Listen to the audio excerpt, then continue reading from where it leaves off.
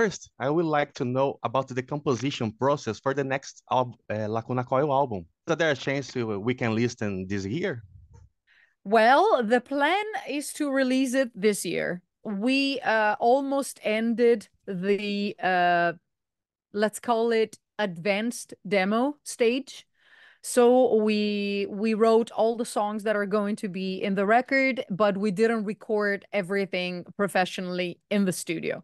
We did it in our studio uh, to figure out all the uh, all the lyrics and the structure of the song.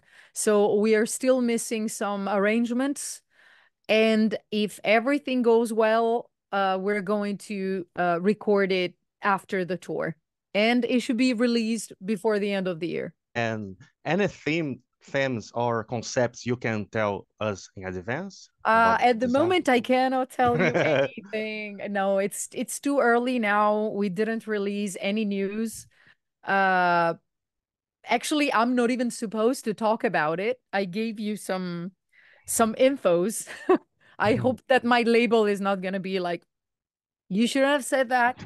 But I am too excited because I love the new songs. I am pretty sure that you guys will love it.